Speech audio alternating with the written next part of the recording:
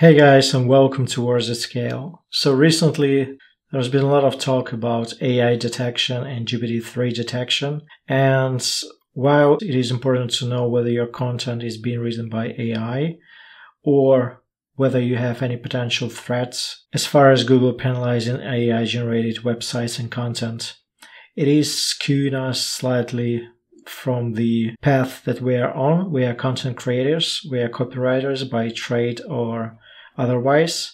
And I want to start this mini series teaching you how to write certain elements of a blog post.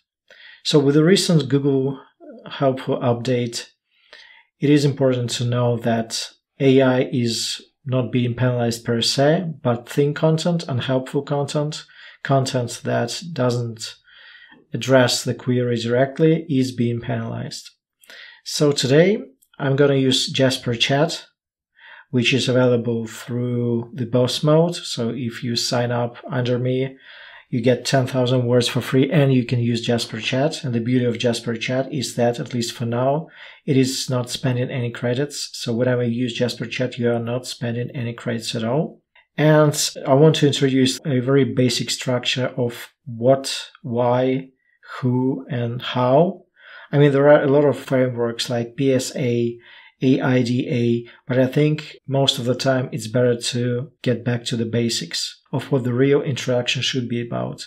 And the real interaction serves two purposes. First, it engages the viewer or the reader. Second, it gives you an opportunity to build rapport and trust between you and the user. So without further ado, I'll go to the Jasper chat, which can be found on the left hand side, the sidebar here and I will just use the two commands. So literally, if you want to have this intro written the way I'm doing it, you only need two commands.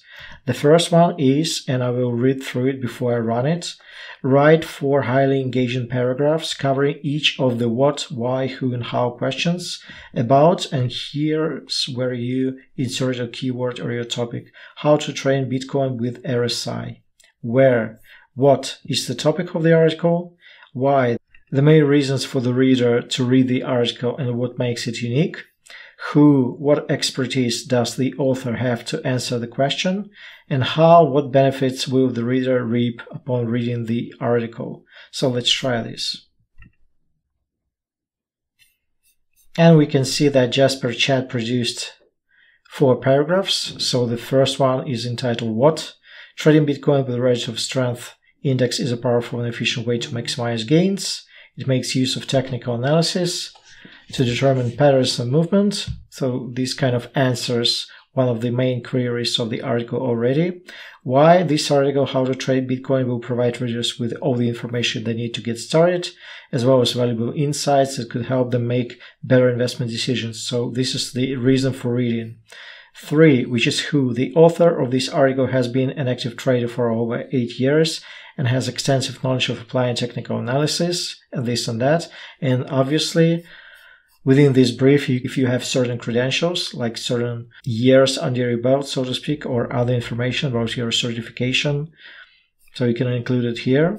Now, the fourth paragraph, which is how, upon reading this article, readers will gain an understanding of how to apply RSI, which can be taken advantage of for max- maximum gains. They will also be able to discern false signals, but this is not an intro per se, so we'll need to use the second command. And the second command is extremely simple. Write a 150 to 200 word intro based on the above paragraphs. Use an active, engaging, and creative voice and tone from the first person perspective.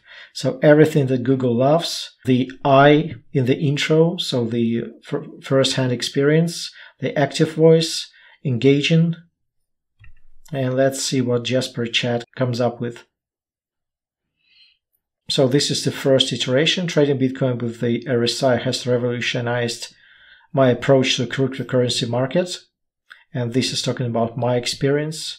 Having been an active trader for more than eight years, I know how to identify profitable entry and exit points. So again, giving my some credibility.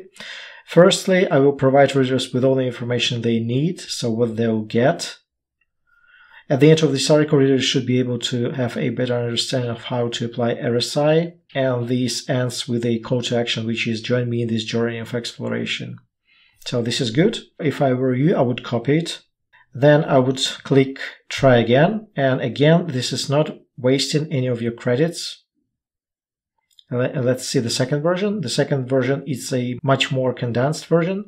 As a cryptocurrency trader, I'm always looking for the best ways to maximize my gains. That's why I started using the RSI. In this article, I will share with you what I have learned during my eight years of trading. And with this knowledge, you'll be well equipped with the tools necessary for success in crypto trading. So I actually like this one better. It's more condensed, but to the point. So no words are wasted here.